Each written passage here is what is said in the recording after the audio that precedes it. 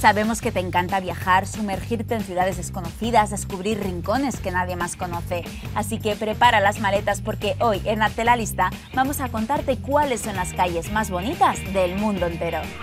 A finales del siglo XIX, el célebre filósofo y pensador japonés Nishida Kitaro acostumbraba pasar largas horas meditando en una preciosa avenida junto al canal de Shishigatani al este de Kioto.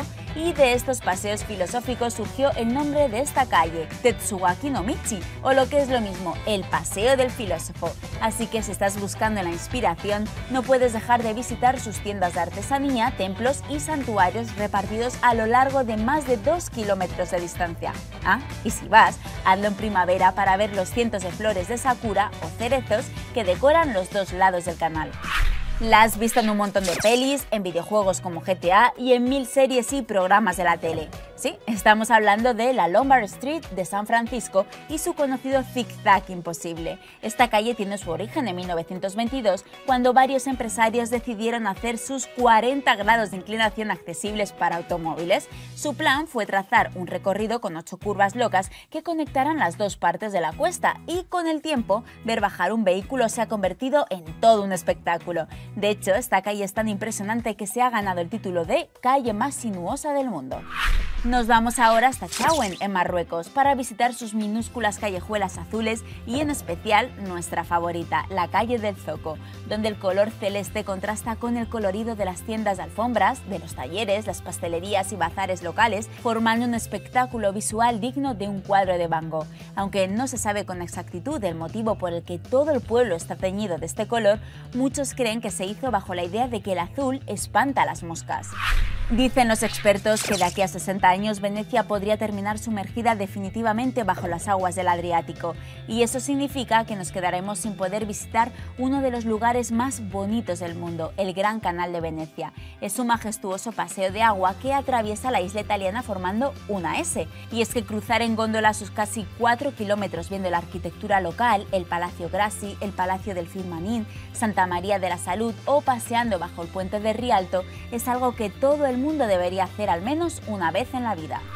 Aunque no es exactamente una calle, si te apetece pasar una tarde en una película de Tim Burton, tienes que visitar el condado de Antrim, en Irlanda del Norte, y darte un paseo por Dark Heads. Con una impresionante cúpula formada por las ramas de decenas de hayas negras, este paseo conduce a Grace Hill House, una conocida mansión de estilo georgiano que se encuentra al final de la carretera. Según cuentan, la familia que vivía en esta mansión en el siglo XVIII, los Stuart, ordenaron plantar estos árboles para darle un toque de cuento al lugar.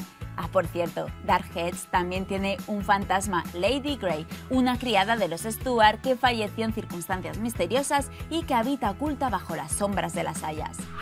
No hay ciudad más bonita para recorrer en bicicleta que Ámsterdam. Y de entre todas sus calles y canales, el que más vas a disfrutar a dos ruedas es el Canal de los Cerveceros, llamado así porque durante los siglos XVI y XVII en este lugar estaban las fábricas de cerveza de la ciudad. Con el paso del tiempo, la calle fue transformándose en una zona residencial, aunque conservó su bucólica arquitectura industrial. Según los lectores del periódico local Het Parol, este es el canal más bonito de todo Ámsterdam.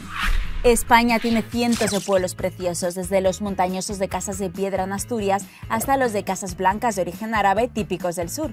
Y entre estos últimos se encuentra nuestro favorito, Frigiliana. Está a unos 50 kilómetros de Cádiz, a los pies de un precioso parque natural y tiene una de las calles más acogedoras que te puedas encontrar en la costa mediterránea, la calle Real. Está en el corazón del barrio morisco de este pueblo y resume a la perfección su belleza. Un increíble laberinto de pequeñas casas blancas, escaleras de piedra y pasajes adornados con plantas y flores por los que cualquiera querría perderse en un soleado paseo de primavera.